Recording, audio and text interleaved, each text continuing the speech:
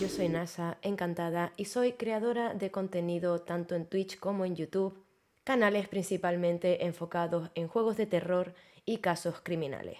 Mi nominación de juego de terror del año 2022 es para Madison.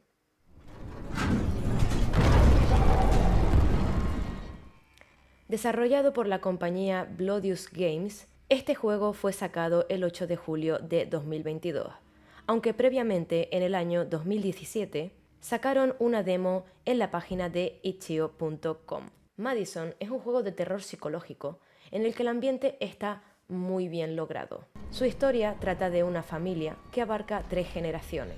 En el juego nos metemos en el personaje de Luca, el nieto de Albert y Elizabeth Maxwell.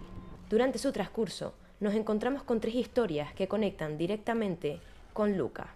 Dentro de estas tres historias, la más destacada, por supuesto, es la conexión entre Madison y Luca, ya que ésta quiere poseer su cuerpo a través de un ritual demoníaco. En el juego tenemos una cámara que es la que conecta el mundo de los vivos con el mundo de los muertos. Y a través del juego nos metemos en diferentes escenarios que cuentan con una ambientación increíble.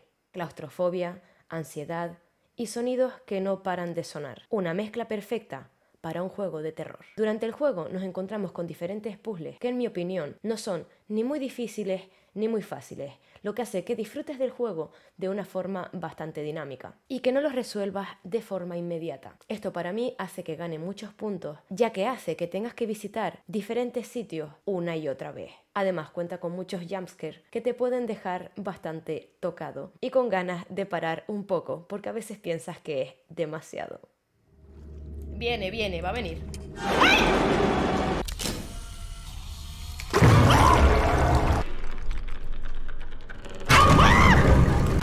Además, me encantó la referencia que tiene de diferentes juegos como pueden ser el PT o el Clock Tower, que es un juego de supervivencia de terror. La historia comienza con Lucas encerrado en una habitación. En ella el padre está al otro lado de la puerta preguntándole que por qué lo ha hecho. El lore del juego puede llegar a ser confuso, ya que estas tres historias, directa o indirectamente, se encuentran relacionadas con nuestro protagonista. No quiero hacer spoiler, pero tiene un final bastante llamativo. Además te deja con muchas preguntas sin responder, creándote la necesidad de querer saber mucho más sobre el juego. Se dice que Madison es una precuela de un juego que saldrá posteriormente, por lo tanto no puedo esperar para que salga a la luz y conectar de algún modo las piezas de esta historia tan macabra. Por lo tanto, en mi opinión, Madison debería ganar el premio a mejor juego de terror del año 2022.